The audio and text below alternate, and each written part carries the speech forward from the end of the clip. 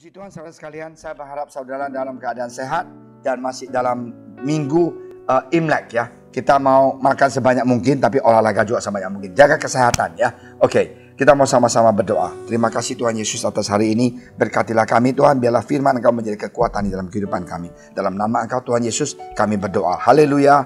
Amin. Oke, saudara sekalian, kita hari ini membaca satu ayat yang Tuhan memberikan banyak perumpamaan dalam pengajaran dia ya. Yang ini kita mau baca seru banget di Matius 13 ayat 22. Silakan uh, Yeskil.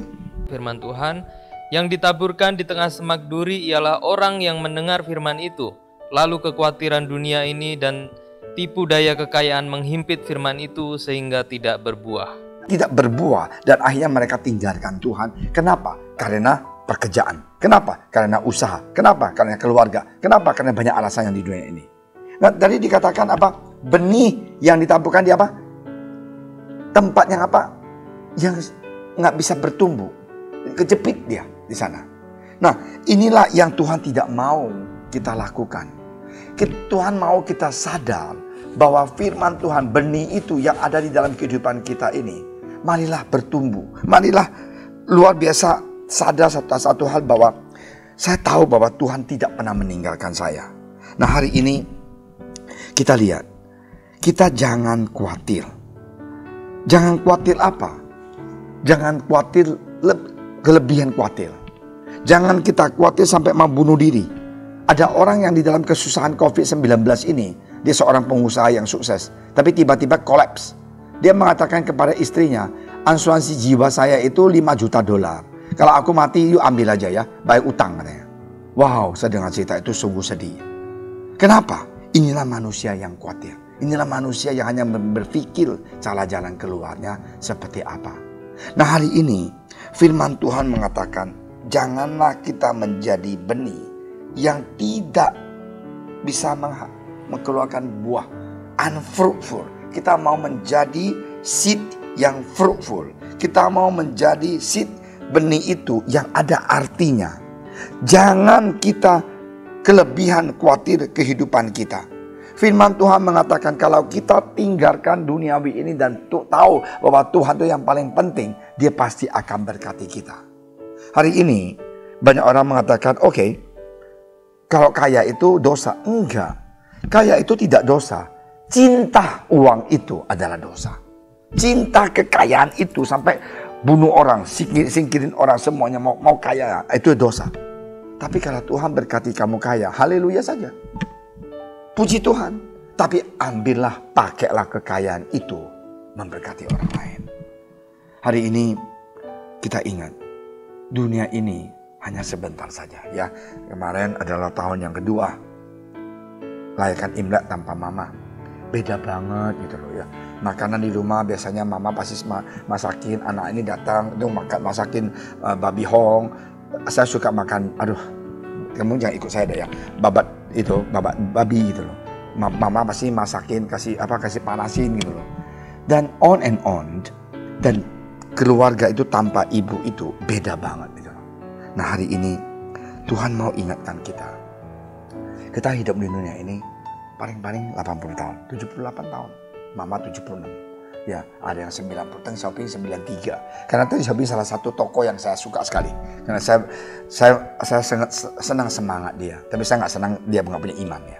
Ya, uh, Lee Kuan Yew juga 90 tahun lebih. Setiap orang akan meninggalkan dunia ini. Tetapi benih yang kita terima di dunia ini, apakah sudah berbuah untuk kemuliaan Tuhan Yesus? Itulah yang paling penting. Marilah saudara sekalian kita ingat. Kita harus berjuang menjadi seorang yang sukses jadi seorang dokter yang sukses, murid yang sukses, kita mau lajin, kita mau ulet, jadi pengusaha yang sukses, kerja jadi manajer yang sukses, jadi supervisor yang sukses. Kalau kita nggak bisa jadi pengusaha, nggak apa-apa. Kita jadi pekerja yang bagus, luar biasa. Itu sudah memuliakan Tuhan. Jangan semuanya anggap, aduh, aduh saya nggak saya nggak bisa jadi pengusaha, nggak apa-apa. Jangan pusing dah. Tuhan mempunyai panggilan yang beda-beda. beda. Tapi ada satu hal yang paling penting, yaitu kita ingat firman Tuhan, yaitu benih yang di dalam hidup kita itu biarlah menjadi terang dan galam. Saya baca satu artikel sungguh menyentuh hati saya, yaitu ada seorang pengusaha uh, plastik yang terkenal di Amerika. Aku nggak tahu uh, setani dia aku nggak tahu bahasa Inggrisnya namanya siapa gitu loh ya. Dan dia punya perusahaan di tahun 1970 bankrupt. Ya, ya, dia hancur. Ya. Akhirnya dia sadar, dari kecil dia ke gereja. Dia ikut sekolah minggu, dia ikut connect group, dia ikut pelayanan.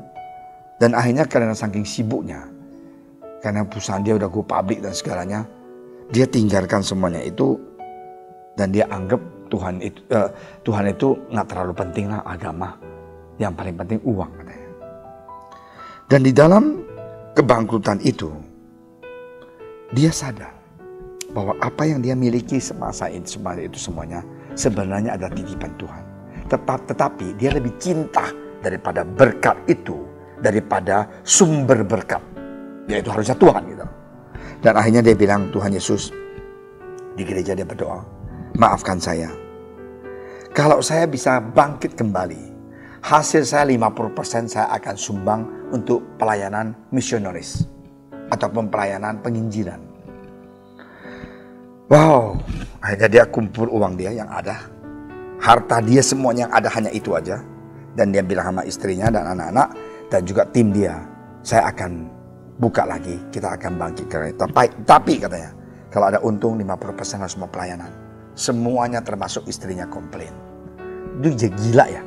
You harusnya kan biasanya untung ambil beli mesin baru, lu putar terus kan. Karena dia pabrik plastik gitu loh. Dia bilang tidak, itu adalah keputusan saya. Akhirnya mereka buat karena big boss, itu dilakukan. Di tahun 1984, 14 tahun kemudian, dia kunjungin satu negara di Korea dan dia katakan satu perkataan. Karena 14 tahun kemudian, usaha dia itu sudah go public and go international. Bukan hanya di Amerika, tapi di seluruh dunia. Dia seorang pengusaha yang sukses kaya raya dan dia diinterview di TV. Dia bilang dulu, saya melayani Tuhan, tetapi saya lebih cinta uang, dia bilang. Sekarang 14 tahun sudah berlalu, saya melayani Tuhan dengan sepenuh hati dan apa yang saya dapat saya kembalikan ke Tuhan 50%. Eh, Tuhan menjadi partner aku di dalam usaha saya, di dalam pabrik saya. Wow, orang itu dengar gila, ini orang gila gitu loh. Dan 50% milik Tuhan, 50% milik aku. Dan saya baca itu saya seru banget ya. Jadi partnernya itu bukan orang lain, tapi Tuhan Yesus partner dia. Dan dia bangun perusahaan dia sampai begitu besar. Hari ini, kalau kita melayani Tuhan, Tuhan juga pasti akan melayani kita. Kalau kita cinta dia, dia juga akan lebih cinta pada kita. God bless you. Di tahun yang 2021 ini, mari kita semangat. Percaya satu hal, Yesus menyertai kita. Kita melayani dia, dia pasti akan membantu kita. Ini rahasianya. Ini adalah resepinya. Nggak ada yang lain. Kita harus melakukan Tuhan Yesus yang paling utama. Sesudah itu kerja dengan baik, belajar dengan baik, usaha dengan baik, dengan rajin. Jangan kita malas. Saya udah berdoa, Tuhan kerja. Enggak, kita mau rajin juga. Tuhan pasti buka jalan. Mari kita berdoa. Terima kasih Tuhan Yesus atas firman Engkau dan kesaksian yang begitu luar biasa. Tuhan, jikalau kita melayani Engkau, Engkau pasti juga akan membantu kita melayani kita. Terpujilah nama Engkau Tuhan, biarlah Tuhan menjadi partner di dalam kehidupan kami. Dalam pelajaran, dalam pekerjaan, dalam usaha, Tuhan ada partner yang setia, yang tidak pernah meninggalkan kami. Berikanlah kami punya saudara-saudari ide yang baru, kalau mereka Tuhan dalam keadaan kesusahan, buka hati dan pikiran mereka supaya mereka bisa sukses. Dalam nama Engkau Tuhan Yesus kami berdoa. Amin.